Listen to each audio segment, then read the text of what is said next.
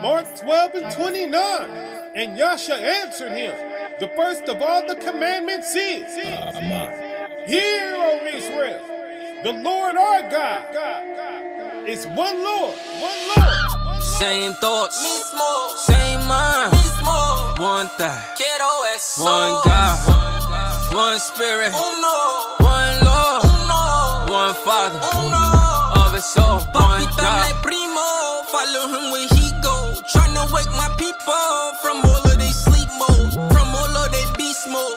She versus the he goats. You can call me Travelito.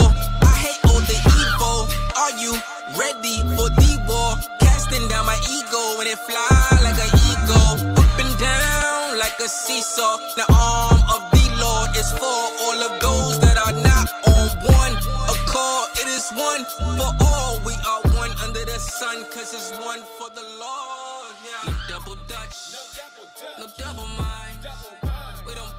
What's happening, Israel? Yeah, Shir Yeshua here, man. We are about to get into what is freedom of speech, as you can tell by the ticker at the bottom, right?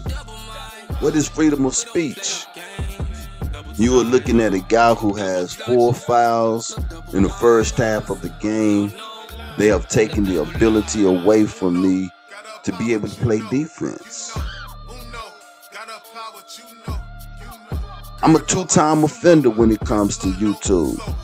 And the problem is, is that I was told that I violated the guidelines, and the problem with that is that I really don't know what the guidelines are until I violate them. So they done flagged me, they done threw the whistle on me, they done told me that I done committed a foul. And not only that, I was warned that one more foul, that my privileges of being able to use the platform are going to be taken away from me. So now I'm like, what? I'm that guy standing in the middle of the court with my hands up pointing at myself like, are you sure that you threw it on the right person? You blew the whistle on me? What what did I do? Now the first time, the first foul that I that I did, YouTube, I, I can honestly say that I I knew I was walking right up to a line. I did. I, I knew I was walking right up to a line. I felt like that I might have got whistled for it, but I wasn't sure. And when I did, it didn't catch me on surprise. But the second one, I was like, wow, wait a minute. I, I thought I was using all the precautions that was necessary, only to find out that I wasn't careful enough. So I, it, it really had me scratching my head like, well, what am I supposed to do? What is it that I can say? What is it that I cannot say? Because you only know that you have crossed the line or violated the guidelines when you receive that email and certain functions on the platform have been taken away from you to let you know that you are in trouble. So I'm like, wow, wait a minute. Is this not America? Is this not America? Do we not have the right freedom of speech? Can I not voice my opinion? Can I not, you know, share with others, you know, the things that maybe I have learned or or things that maybe I have seen? Do I just have to sit back and be like everyone else and just eat the junk food that is being put on the plate? Well, according to YouTube, and this is one of the things that I want to talk about. Is YouTube right? Do they have a right to do what they do to individuals like myself? I'm not the only one. I go through YouTube and I see it all the time. People talking about they have been flagged for this and they have shut them down for this and and all kind of things. So you know, I'm I'm not on here whining, right? I don't I don't need cheese and a violin, right? And wine. No, I'm not whining. I, I just want to put some things in perspective. I want to look at the bigger picture here of Job 9 and 24. Because the earth was given into the hand of the wicked, and they have hid the faces of the judges thereof, and if not them, then who? Right? So so let's, you know, let's talk about this a little bit more. There is a certain drink that is out there. There is there is a certain drink that is out there that that I know for a fact that is, you know, a very bad drink, right? A very bad drink. And so all I did was try to tell people, you know what I'm saying, to stay away from that particular drink. Man, you know, whatever you do, do not take that drink. Don't drink that drink. And this drink is being served at certain bars, right? And so, you know, all I was doing was saying, you know, stay away from these bars. Don't go to these bars because the bartenders at these particular bars, right? Although they are making this drink seem like, you know, it's the best thing ever, you know, it's really not.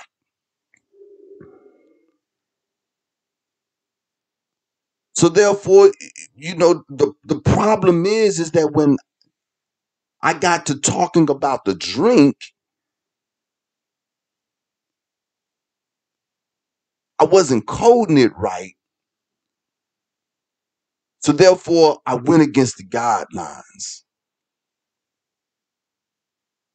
Why would I tell my people to stay away from the drink? Because I love my people. I want my people to be drinking on something that I feel like is going to be bad for them, right? This is what we do. This is what we do as a community. As a community, we we help each other out. We we are there for each other.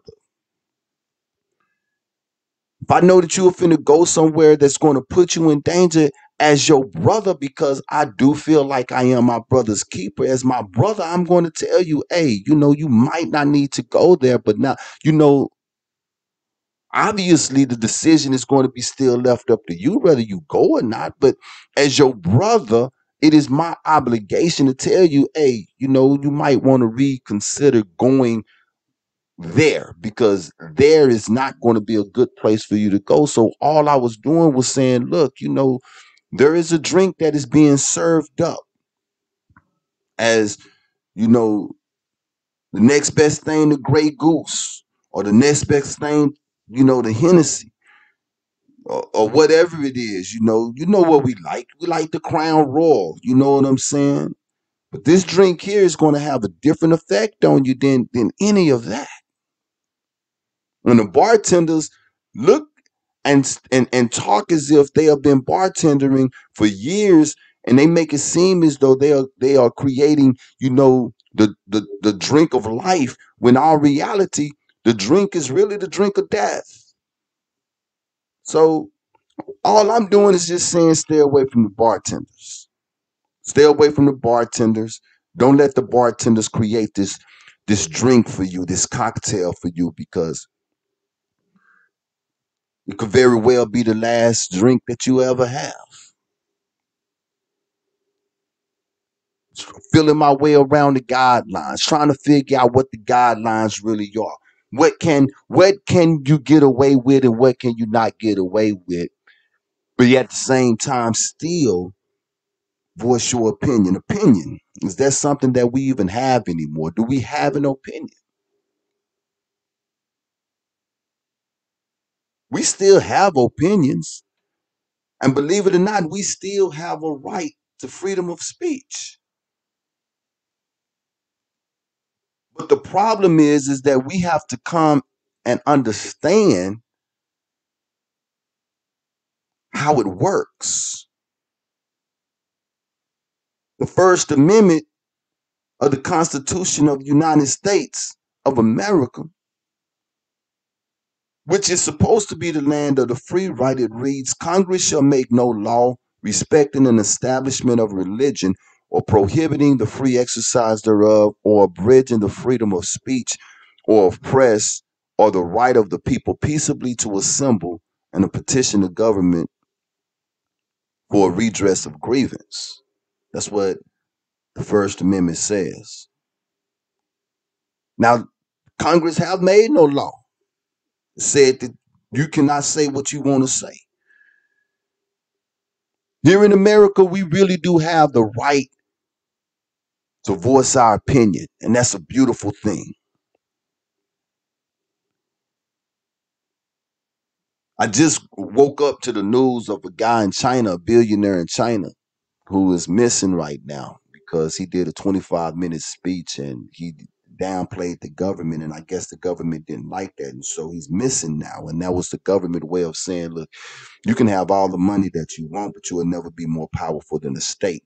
We don't have that issue here because comedians make money all day, every day, talking about the president and everybody else. Everybody, everybody, everybody is free game to be talked about except alphabet people, Zionists, right? Got to stay away from that. You know, we have an anti defamation law, right? Anti Semitic is what you would be called, right? But everybody else can be talked about. Every na- nationality or group of people can talk about black people. They can they can talk about black people all they want, right? Every religion is free game, right? Every everything is free game except for a few things. So Congress have not made a law to say, look, you can't talk about this, you can't talk about that, because if you do, you will get in trouble. But YouTube can make a law and say you can't talk about that. And if you do, you'll no longer be able to use our services. Facebook can say, hey, you can't talk about that. And if you continue to talk about that, you're going to no longer be able to use our services. Instagram can say, hey, you cannot talk about that. And if you do, you're no longer going to be able to use our services. If you are an entertainer, right, regardless of how you feel about a situation, if you want to continue to work for the network that you work on or continue to make movies or continue to make music or continue to do game shows or whatever it is that you do, you're going to have to speak according to the language of the corporate corporate owners. You're going to have to be able to speak that language. Because it's not Congress who is running the show. Washington is not running the show. Corporations are running the show. These corporations are owned by billionaires who is spearheading everything that's being fed to us. And in order for them to be able to control every narrative, these billionaires that own these corporations, they create their own laws and they are well within their rights.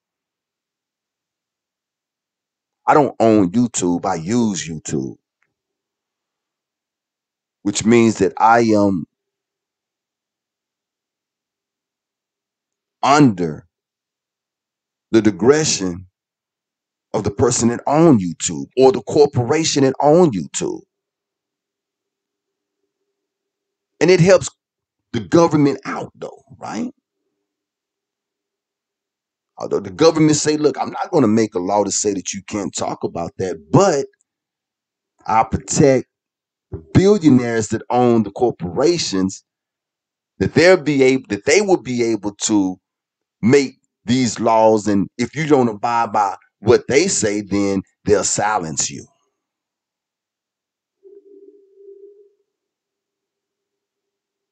everything that come out of the media is the exact same thing. No one has a difference of opinion. No one. There is a whole television show that is called the view but when you watch it it's only one view. They make it seem as if they go back and forth but but they really don't. They really don't whoopi is the moderator. And they have one young lady on there Meghan McCain. She is you know like the black sheep of the rest of the family. She does she she she's a little bit more opinionated than the other ones but when it all boils down to it when it's time to to to to put the nuts and the bolts in it they all agree on the same thing. Think about if there was an openness of opinion in the media. A lot of the things that we now accept, we probably wouldn't accept as well as we do because there would be opposition to it.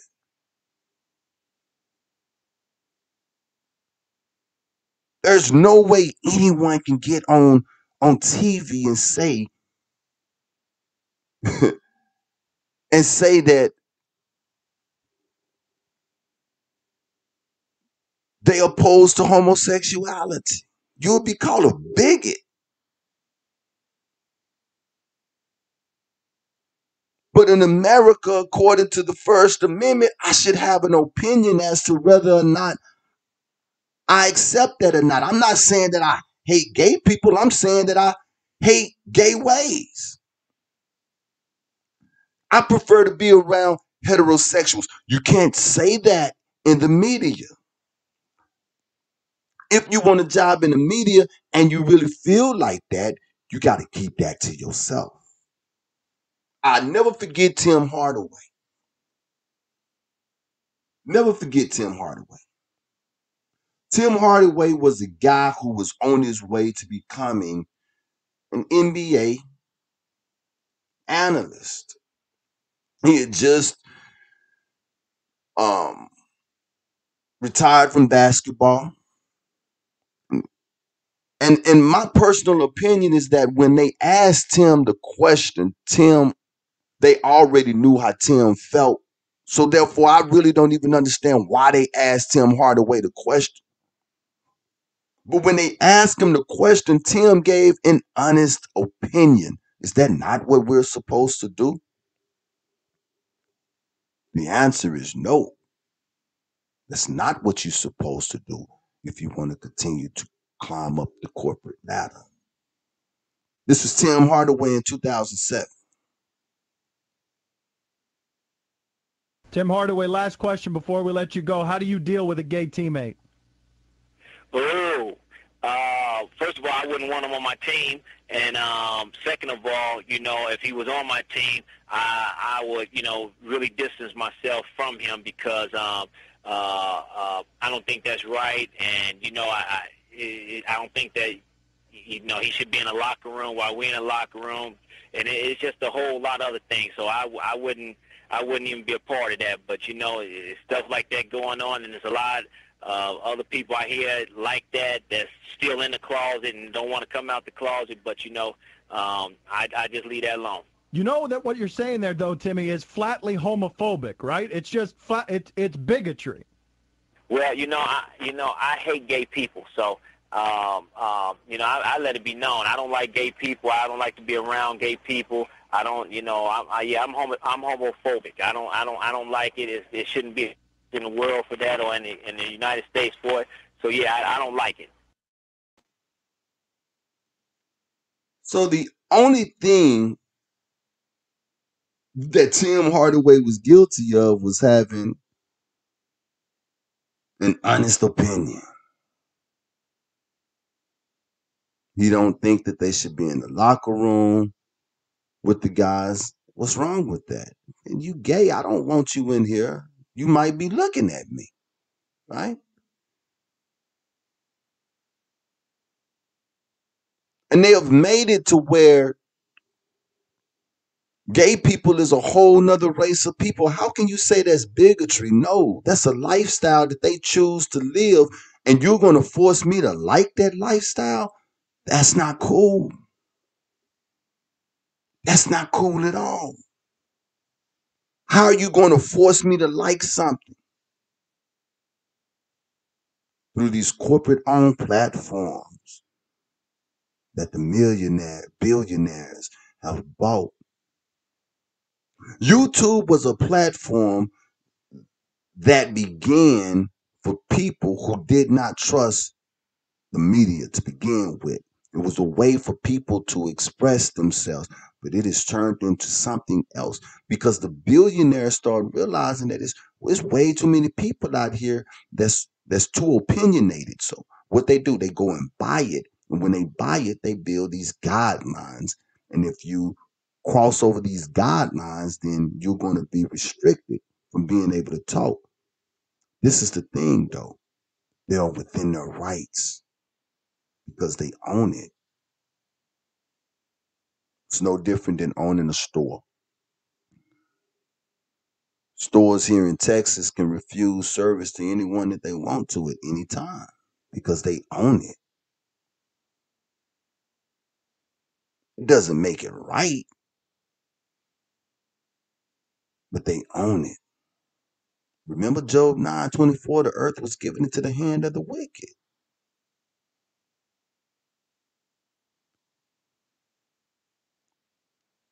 There is no way in 1973 you'd have had a commercial on TV with two gay people. Now that's a norm. Nobody better not say anything against it because if you do, you're going to be labeled a bigot. There is no way in 1973 you'd have seen commercials with all of these interracial relationships. Beautiful black women, and these funny looking white guys. But it's becoming a norm and it's an agenda. And if you say anything about it, then you're going to be called a bigot.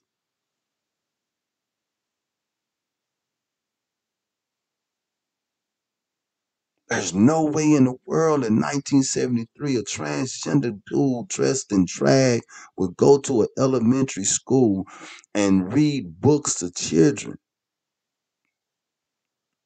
But these things are accepted because the media replay this stuff to us over and over and over and over and over and over and over and over again. Then they buy up the platforms in which people who have an opinion that don't like the juice so that they can silence them. It's one thing sitting up in your living room amongst your friends talking about what you don't like and what you're not going to drink and what you're not going to do. It's a whole nother thing when you get on a platform where millions of people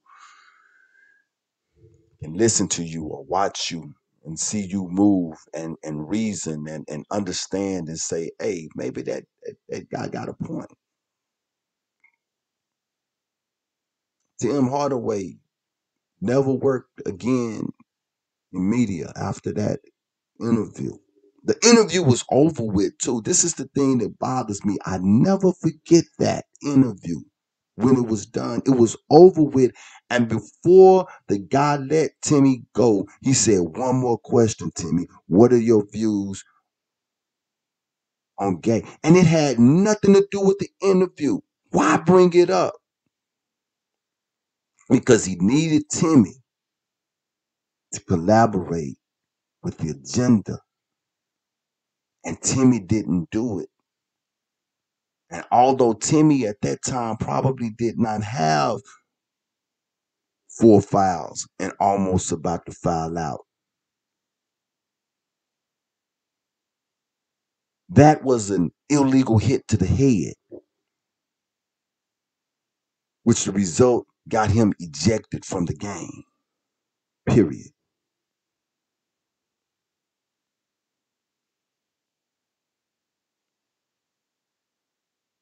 Got him ejected from the game, period. So here we are now. Here we are. What are we going to do about it? Are we going to fold? Or are we going to learn the rules? I say, let's learn the rules. Let's learn the rules. Us as in a community, anyway, we have always had our own language. We've always known how to talk to each other. In plain view of everybody. No one understanding what we're talking about but us. What's changing now? I'm telling my people to stay away from the from the drink. If by all possible, don't go to the bars. because people go to these particular bars and they never come back home. Stay away from those bars. Don't drink that drink.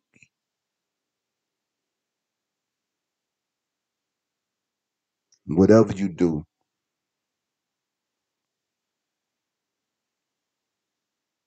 read. Stay prayerful. Because we are in the fourth quarter of the game.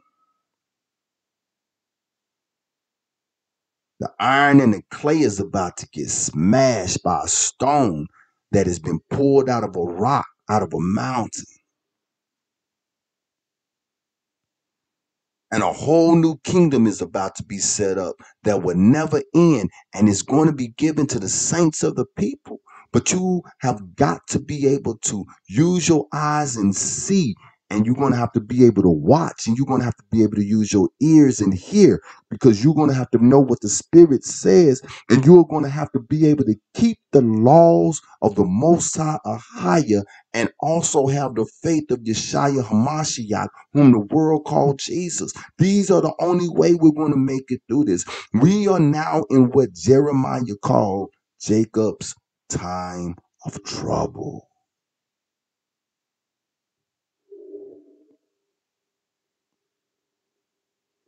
YouTube have a right to silence whoever they want to silence for whatever reason they choose. And one thing I know about the wicked of Edom is that they make rules as they go to ensure that they don't lose. So I'm not going to get upset anymore. I'm going to walk the tightrope and I'm going to try my best to stay in the game, right? But if I don't, I don't. But at the same time, every time I get a chance to tell my people to don't drink the drink and stay away from the bars, that's exactly what I am going to do. It's what I'm going to do. This has been a little something. I'm going to be coming back. Going to be dropping as much information as I possibly can. People, let them know what's going on. I heard in the news that um, that bars in New York are going to be getting fined hundred thousand dollars for for not selling enough cocktails. Um, so you know things like this, you know, is is why we need to think within ourselves. Why is it that you want to sell so much of this cocktail? Why is it that it is so important that that this particular cocktail is is is being sold? Let the people decide if they want to take the drink or not. Right?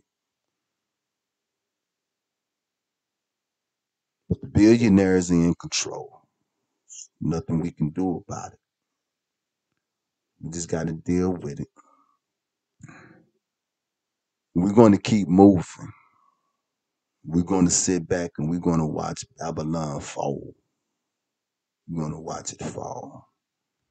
Because that's exactly what it is going to do. Babylon is going to fall. And when it fall, when it fall, when Babylon fall, we want to be right there to be able to see it fall.